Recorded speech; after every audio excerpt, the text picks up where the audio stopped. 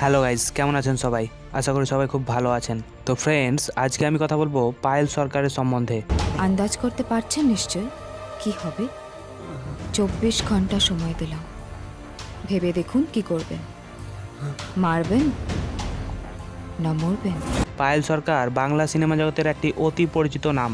বর্তমানে বাংলা ফিল্ম ইন্ডাস্ট্রিতে যে কজন অভিনেত্রী রয়েছে তাদের মধ্যে পায়েল সরকার অন্যতম। তিনি নিজ অভিনয় দক্ষতায় নিজেকে সিনেমা জগতে সুপ্রতিষ্ঠিত করেছেন। পায়েল সরকার দশই ফেব্রুয়ারি উনিশশো চুরাশি সালে পশ্চিমবঙ্গের কলকাতায় জন্মগ্রহণ করেন। সেই হিসেবে তার বর্তমান বয়স আটত্রিশ বছর এবং উচ্চতা পাঁচ ফুট চার ইঞ্চি।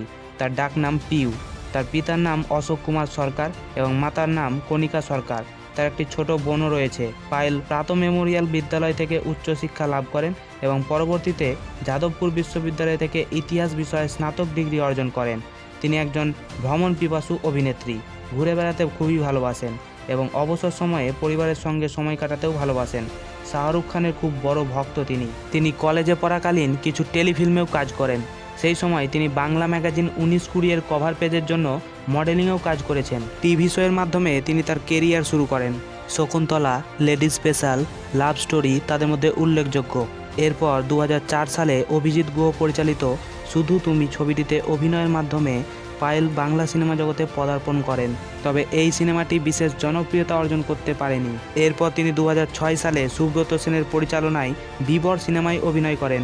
এই সিনেমাটিও সফল হয়নি, কিন্তু পায়েল কিছুটা জনপ্রিয়তা অর্জন করেন এই সিনেমার মধ্য দিয়ে। তার ছবিগুলি একের পর এক ফ্লপ হতে থাকে।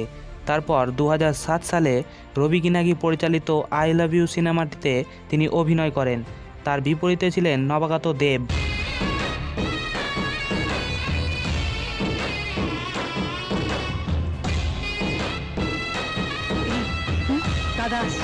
এই ছবিতে তাদের অভিনয় খুবই প্রশংসিত হয়। সিনেমাটি বক্স অফিসে সুপারহিট হয়েছিল এবং পায়েল এই ছবিটির মাধ্যমে জনপ্রিয়তার শীর্ষে পৌঁছে যান।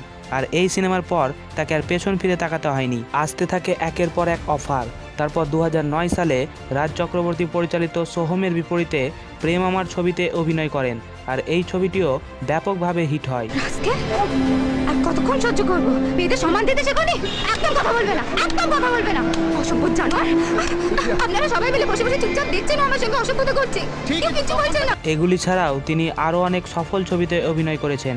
তার অভিনীত উল্লেখযোগ্য চলচ্চিত্রগুলি হল দু হাজার নয় সালে ক্রস কানেকশন দু হাজার দশ সালে লে ছক্কা দু হাজার বারো সালে লে হালওয়ালে দু হাজার তেরো সালে বোঝেনা সে বোঝে না দু সালে বচ্চন দু হাজার সতেরো সালে জিও পাগলা দু হাজার উনিশ সালে জামাই বদল প্রভৃতি। এছাড়া দু হাজার আঠেরো সালে এপার বাংলা এবং ওপার বাংলার যৌথ প্রযোজনায় মুক্তিপ্রাপ্ত ভাইজান এলোরে নামক সিনেমাতে অভিনয় করেন।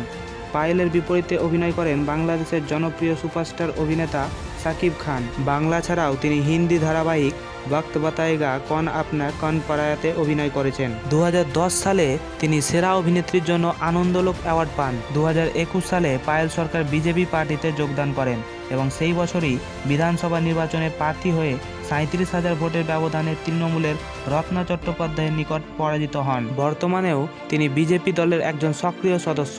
সো বন্ধুরা, ভিডিওটি এই পর্যন্তই। ভিডিওটি ভালো লাগলে একটি লাইক করে দেবেন এবং এই রকম আরও অনেক ভিডিও পেতে আমার চ্যানেলটিকে অবশ্যই সাবস্ক্রাইব করুন।